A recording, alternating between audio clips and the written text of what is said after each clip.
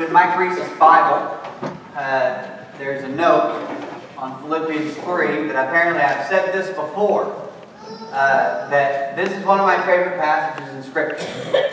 Uh, start of Philippians 3 and um, the conclusion of Philippians 3, which we won't get to all of it this week, uh, mirrors a story of mine that I'm not all that comfortable with, but it's true nonetheless that I grew up in a, um, in a Church of Christ, and it uh, and I, had it all right from a very early age.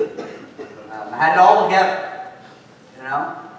There I was, 12, not smoking, and and I, I had done the things that I was supposed to do, and even at 12, 13, I had started sort of starting to look at other people and realize that other people weren't doing the things that they were supposed to do.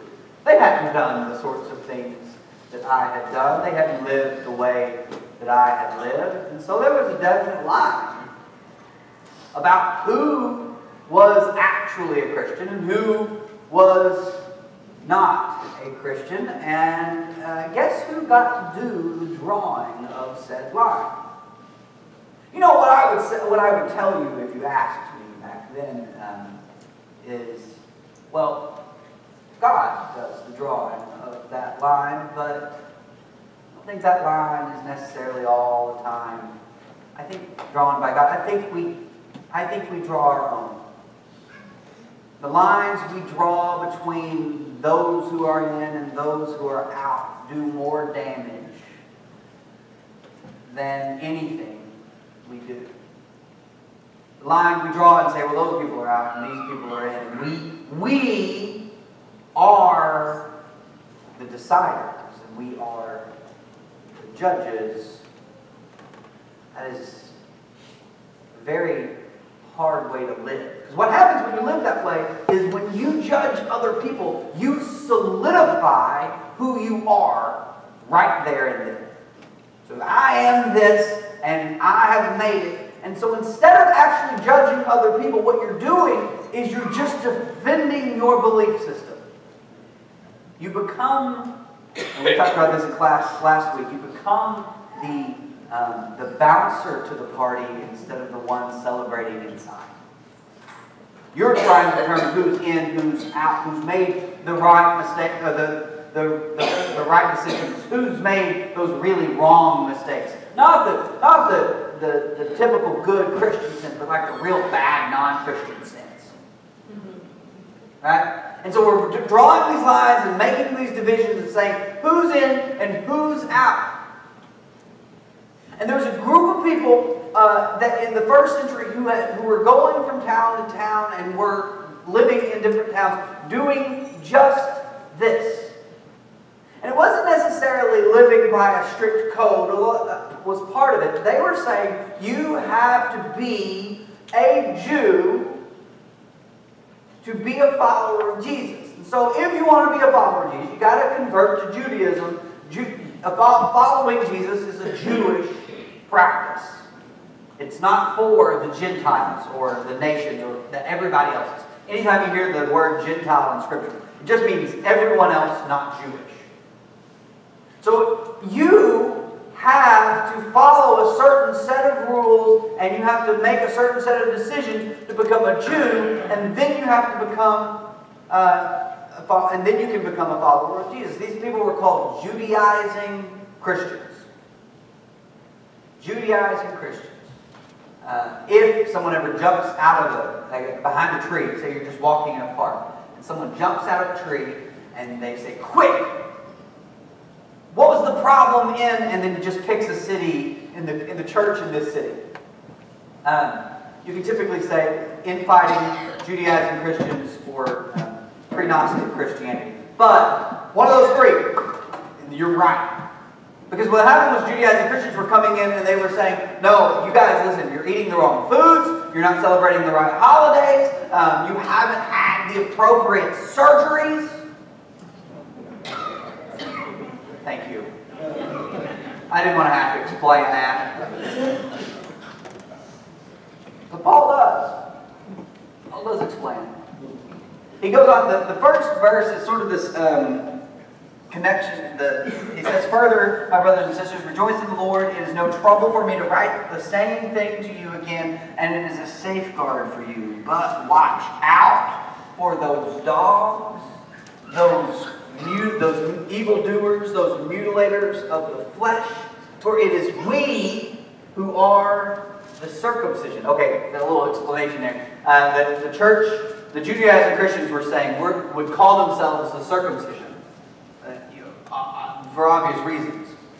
And they would call the, the other people the uncircumcision, uh, the, the uncircumcised people. So he says, "We are, for it is we who are the circumcision, we who serve God by His Spirit, who boast in Christ Jesus, and who put no confidence in the flesh." And then he adds this: "Though I myself have all sorts of reasons to put confidence in the flesh." He goes on, he says, if anyone thinks they have more, um, they have uh, reason to put confidence in the flesh, or more reason to put confidence in the flesh, I have more. I was circumcised on the eighth day, which is just what you did with good kids, you know. Um, I was circumcised on the eighth day, which, which funny to me, that's the eighth day of his life. Good job, Paul. Right? Like, that's not really on a mark for you. That's a mark for you. But anyway, I was circumcised on the eighth day. The people of Israel, the tribe of Benjamin, a Hebrew of Hebrews. In regard to the law, I was a Pharisee. As for zeal, I persecuted the church. As for legalistic righteousness, or righteousness when it comes to the law, I was faultless. You want to get into a battle of, of how many times you went to church. If you want to get into a battle about how many times you didn't go to parties. If you want to get into a battle about how regularly you, how, how well you knew your Bible. If you want to get into a battle of all those things, Paul says, I've got you beat. Paul says, I lived that life, that life that asked of me to follow every single rule or God was going to be mad at me. I followed the life where I had to get everything exactly right. And God, or God was going to be uh, upset, or God was not going to like me, or love me, or save me, or redeem me. God was watching. See, I lived that life, and if you think you can do, Paul says, if you think you can do better than me, you, you, you got something else coming. But, but whatever was to my profit, whatever was to my profit, whatever gains to me, I now, or whatever were gains to me, I now consider loss for the sake of Christ. What is more, now notice he's not saying I lost like a big business. I gave away my big business. Or I had a lot of money and I gave away a lot of money. Um, he's saying I was respected because of my deeds and my um, my uh, zeal for following the law of God. He says, but I consider all of that. Whatever we're gaining to me, I now consider loss for the sake of Christ. What is more, I consider everything a loss because of the surpassing worth of knowing Christ Jesus my Lord. For whose sake I have lost all things, I consider them garbage that I may gain Christ. Problem whenever I was younger, and it still is a problem to a certain extent, is I feel very good about the things I know about God. Um, I feel pretty confident that. You know, you, you study your Bible enough and you start thinking, yeah, I, I know more about God today than I did last week, and, I'm, and it's gaining.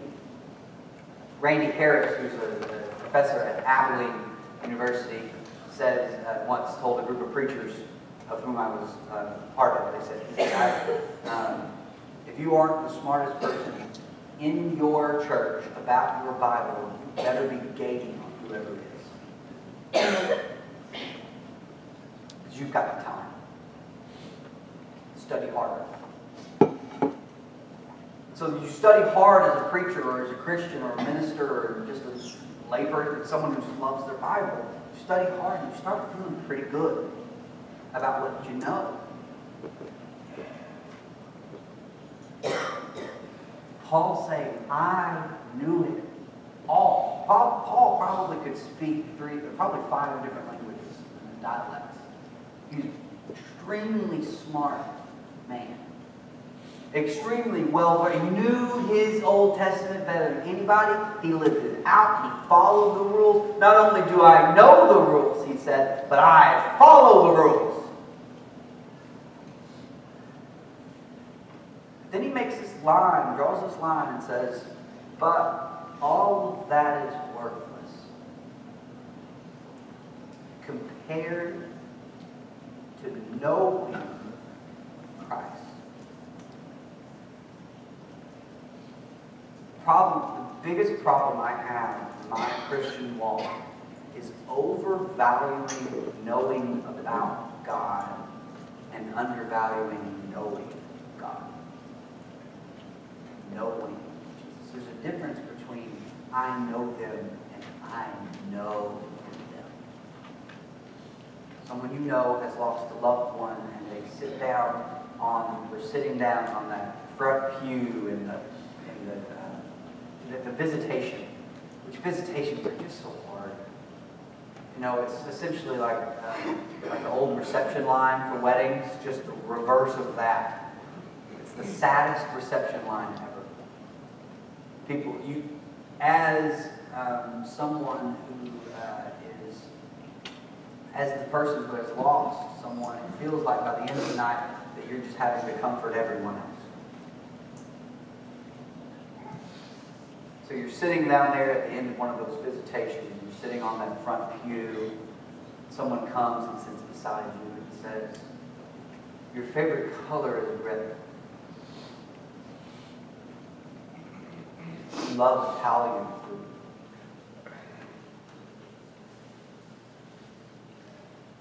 You once danced the Macarena at a Rangers game. You probably turn to that person and say, What? What do you do? They would say, I, I want you to know that I know you're. Well, if you really knew me, you'd want you would be quiet right now. Because there's a difference between knowing about somebody and knowing somebody. And one doesn't produce the other. I've used analogy before, but whenever I started um, dating Rachel, uh, there was there was really it was like a contest to see who would have my hand, and I picked her. and no, we connected. Uh, we, we went to the same church camp, and we grew up uh, knowing of each other. And then um, I was standing watching a uh, basketball game and she spotted me. This is the truth. I am not lying to you about this. She spotted me and um, tripped over a couple of friends getting to me hi. She wanted my, and this is, you know, kind of dates me. She wanted my AOL instant username. uh, so we, so we chatted a little bit. But if I was confused, the idea of knowing about her and knowing her, I would have gone about it in two different times. So knowing Rachel meant spending time with Rachel and talking and listening um, amongst the silence.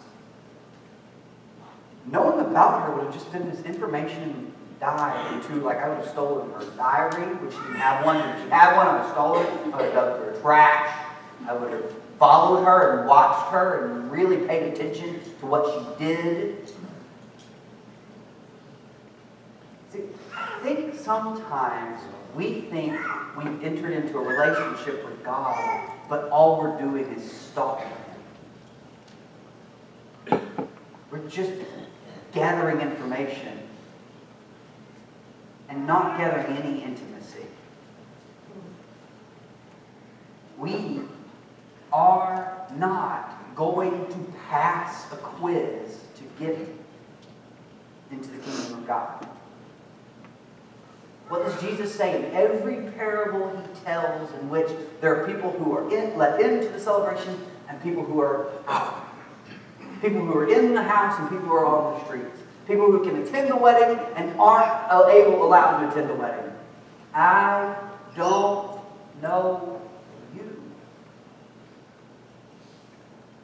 Paul says, I consider all of that mess.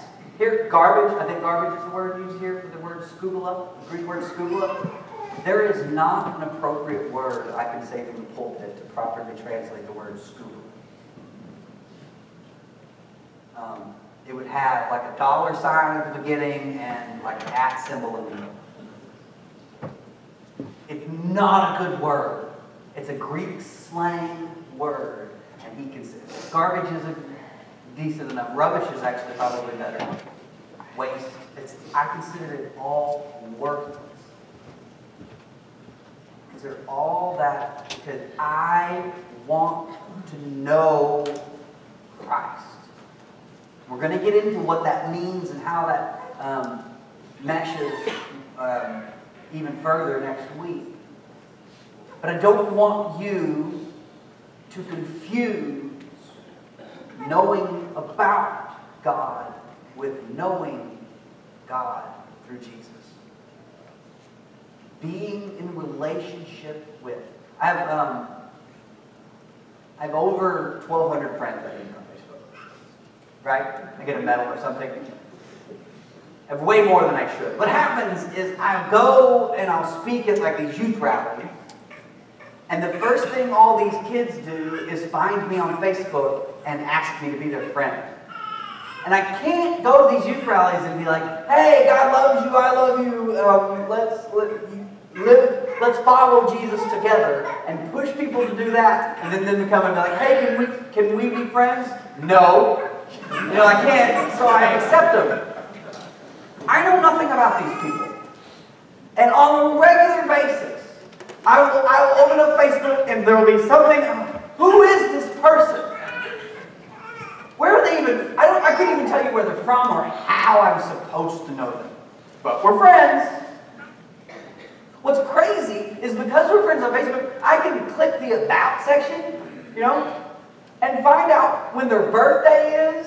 Some of them are stupid, their social security number is there, and like where they were born, and who they're in a relationship with, what, what emoji expresses their emotions the best at the moment. I can find out all sorts of information about them and still not know them. I can know about a lot of people. You only know a few. we are called not just to know about God, not just to know God, but to be known by God. And in the end, that's what prayer is and does.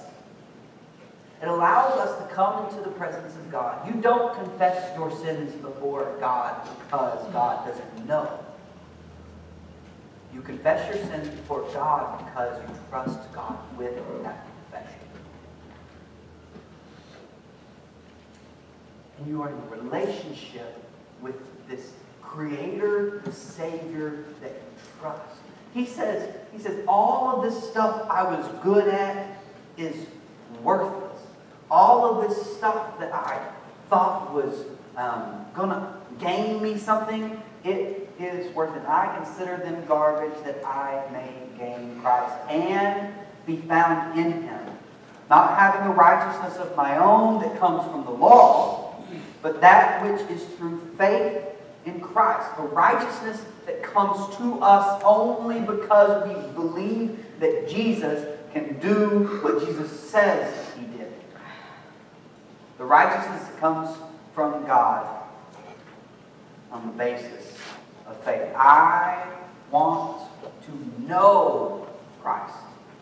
Yes, to know the power of his resurrection and participation in his sufferings, becoming like him in his death, and so somehow attaining to the resurrection of the dead. Knowing about God is real easy. And I want you to hear me real clear right now. I'm not saying that there are some people who know about God and there's some people who know God. I think it's actually probably a good chance that most of us, part of us at times, know about God and we're not really in a relationship with God. And then sometimes we are.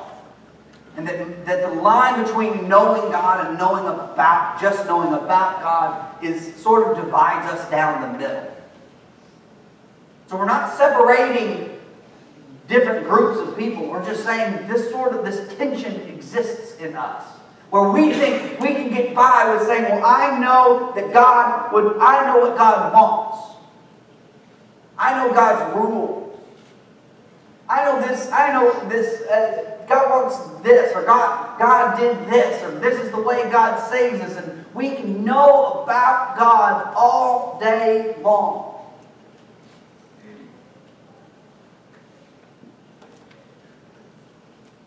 Doing the things Jesus did is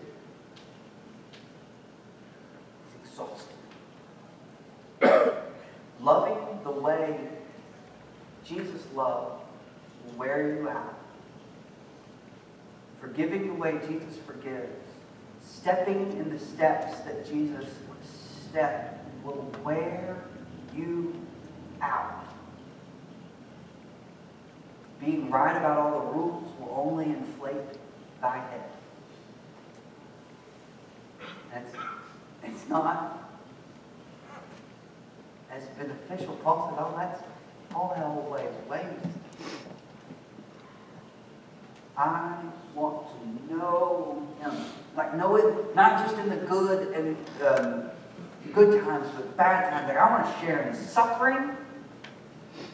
I want to be there with Him. That's what someone you know does for you. Is they share in your suffering and they celebrate in your moments of joy and your moments of redemption.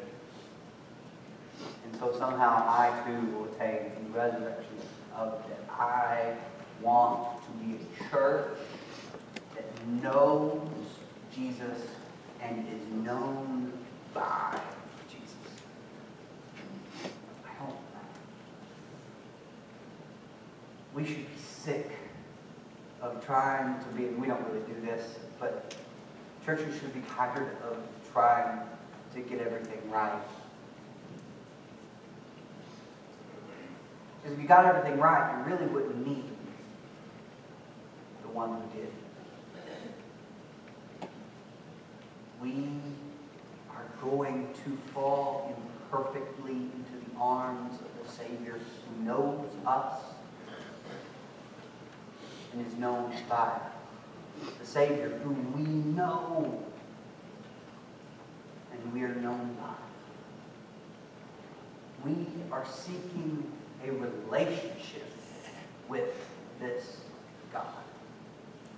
A relationship with this Jesus. And that relationship will affect every other relationship around you. Good relationships do that.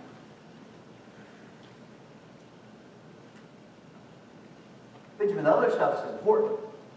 Paul's Okay, yeah, Paul's not saying, I consider all those things skubala, period. He said, but compared to the surpassing greatness of knowing Christ Jesus my Lord, then it's like this I love fried chicken. I do. Rachel makes good. Um, well, Rachel makes good everything, but there, when she, sometimes she makes fried chicken, and it's good too. I love that. Like I, I, I could eat. It's crazy because I could eat that until I'm dead. Not just full, like I stop breathing. But if you make me choose, obviously, between fried chicken and my children. right? I mean, not saying one's bad and one's good. You're saying one's of worth and one is invaluable. And that the focusing on one will ruin you. And the focusing on the other change the world. Change you. So it's practical stuff. You don't want to just say, hey, go get a relationship with Jesus. Like, what, I read in the letter? Um, a couple of things. Um, spend time in just picking Mark, right? Take five minutes this week. Notice I didn't say five minutes a day. Five minutes this week. Come on, you can do it. Five minutes this week. And just read a story about Jesus. That's it. Just do it. Just read a story about Jesus. And don't think, well, what does this tell us about God? And what can we know about God? Because just read a story about Jesus and think. Just think about it. Just let it sit in your brain for a little bit. Have experiences of Jesus from the Bible. You don't have to come up with doctrine. Actually, I argue, try not to come up with doctrine, with theology. Jesus healed this leprous guy, and I get to watch it. I get to be present while it happens, and imagine it happen. And then all day, you don't even have to have the Bible in front of you. Just sort of replay that scene in your head. And then secondly, uh, spend some time in those weird silent moments of your day. Let them be silent. You know, when you're driving, um, turn off Taylor Swift and just be aware for a second that God is present with you and that He loves you. You don't have to say anything. This isn't, yes, you will pray, and that may happen, that may just, but just the fact that God is present and you and God can handle the silence together. Build that relationship. That allows you to start thinking like, uh, well, I, don't have to say all the right things to be in the presence of God. I can just be in the presence of God because God loves me enough to be present with Him. Just exist in the presence of God. The way I've always said to do this, if this doesn't help you, then you can throw it away. It's not, you know, it's not necessarily a binding thing. But I, you wake up, say a prayer, don't say amen, just let it ride. I've started my day. And sometimes it's quickly, you know, just um, our Father who is heaven, hallowed be your name, your kingdom come, will be done on earth as it is in heaven. And then I go get my daily bread. Then I go be present with people, and there's a sense of I'm open to the conversation with God. I think we say amen too much in our prayers. Let it sit. Let it be open. Be present with God. And at the end of the day, acknowledge that God was present throughout the day. Sometimes you'll forget. I promise you. but First off, you'll start, you'll say, well, I'm going to try that. I'm going to, and you'll start and you'll forget it. God loves you anyway. Do it again. You didn't fail him. It's that sort of relationship with God that will get you through very great times, very difficult times. I'll be honest.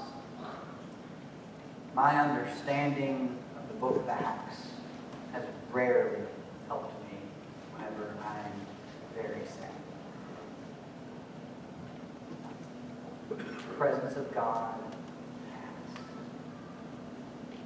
Knowing Christ Jesus, my Lord, has. A relationship with the Redeemer has. It's helped more than I could ever account for. So this week, whether it's need, you need to start it today, or you need to continue it and you need our prayers as you go out the door. Focus on building your relationship with God. Not some database about God, but your relationship with God. And just be present with Savior. That will matter more to you than I can ever explain to you from this elevated stage. Seek to know Him because those who seek will find Him. And those who knock, the door will be open. If you want to seek, if you want to knock today, please come forward. while we stand. While. I hear the Savior say,